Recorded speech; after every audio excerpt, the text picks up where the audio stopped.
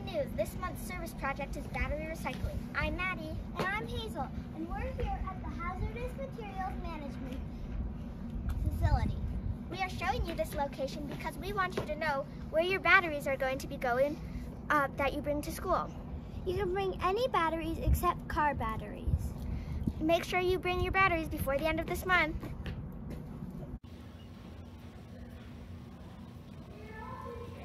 Hello, Flagstaff Dragons.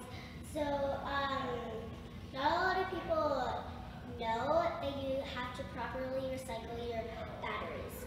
Because if you just throw them away, it will end up in the landfill and over time pollute the soil and get in, the battery acid will pollute the soil and get into like your tap water, your shower water, and um, so we don't want that. So we're bringing battery recycling to Flagstaff.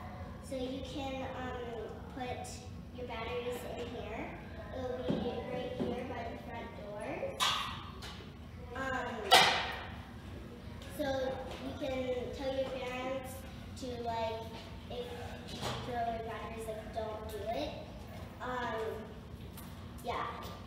you only have to put clear tape on the lithium batteries and the 9 volt batteries.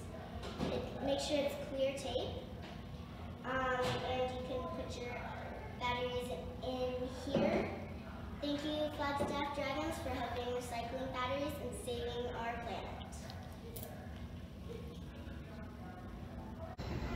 The middle school battery drop is located above the LMC book drop.